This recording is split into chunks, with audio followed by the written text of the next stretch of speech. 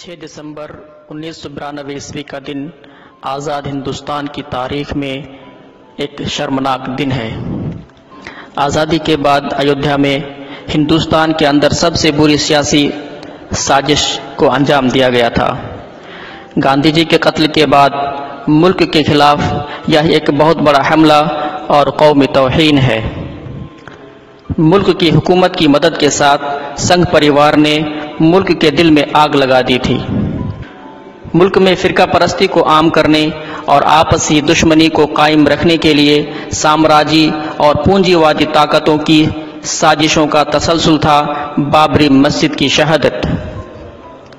چار سو سالوں سے زیادہ سالوں تک عبادت کرتے آ رہے مسجد کو ہندو مسلم کے بیچ فساد کا مسئلہ برٹش نے ہی بنایا تھا۔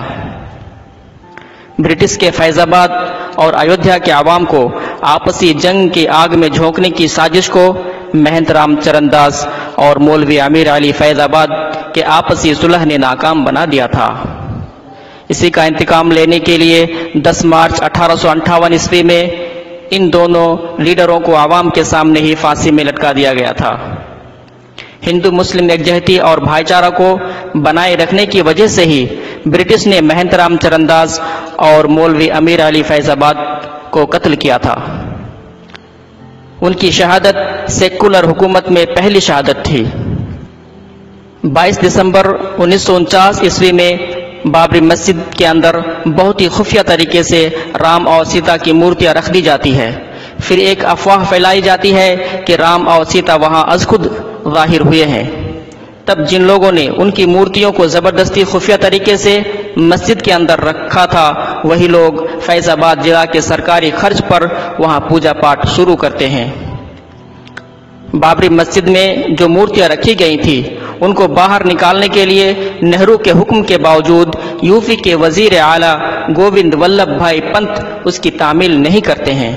الہ آباد ہائی کورٹ نے اس جگہ کو فسادی جگہ بول کر دونوں گروہوں کو وہاں داخلے پر پابندی عائد کیا۔ کورٹ کے ذریعے پابندی لگے رہنے کے باوجود نو نومبر انیس سو چوراسی عیسوی میں سرکار کی مدد کے ساتھ وہاں سلنیاش کے لیے اجازت لی جاتی ہے۔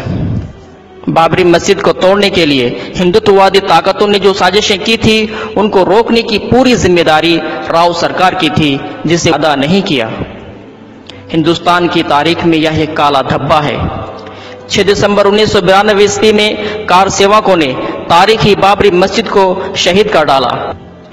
بابری مسجد کی شہادت کے اکیس سالوں کے بعد مودزم ملک اور جمہوریت کو ہی دھمکی دیتے ہوئے ملک کو فرقہ وارانہ فساد کی آگ میں جھونکنے کی سازشوں کو ہم دیکھ رہے ہیں۔ فیشزم کے خلاف ایک مؤثرانہ انداز میں دفاع کرتے ہوئے ہمت کے ساتھ ہمیں کھڑے رہنا ہے۔ بابری کی دوبارہ تعمیر کے ذریعے سے ہی خطرات کے شکار ملک کی قدر و قیمت کو دوبارہ واپس لا سکتے ہیں۔ ہندوستانی عوام کو ملنے والا پہلا موقع میں ہی اس کی تعمیر کریں گے۔ تب تک ہم بابری مسجد کو نہیں بھولیں گے۔ چھ دسمبر۔